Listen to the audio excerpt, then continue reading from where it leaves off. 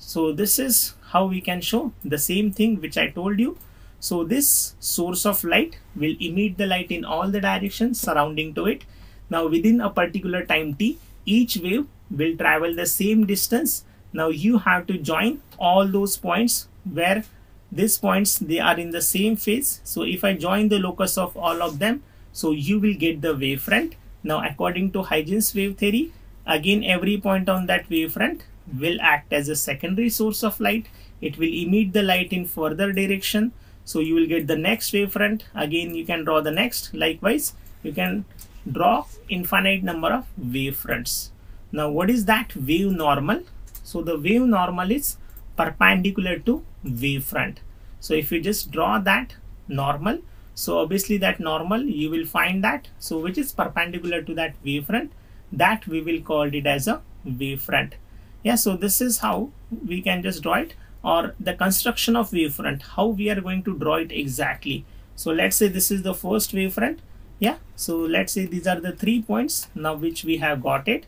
Now we know that obviously velocity is equals to distance upon time. So d is equals to c into t. So you have to draw the circle of radius that is a d is equals to c into t. This is the first circle. This is the second circle this is the third circle. Now just draw the tangent to all of them and you will get the next wavefront.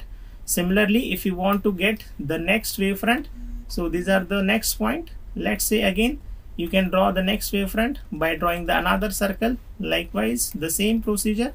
You will get the next wavefront. Yeah again join those all those draw the tangent. You will get the next wavefront. So when the wavefront is at a very far distance from that source almost that plane wavefront it get converted into plane wavefront yeah? So when it travels a very large distance it will get converted into plane wavefront. So this is nothing but the plane wavefront which I had drawn over here. And these are nothing but the spherical wavefront. So this is your common center of that both the wavefront which I had drawn over here. So this is how you can draw those wavefronts. So that is also very important to represent the light either in the form of wavefront or either you can represent that in the form of your wave normal also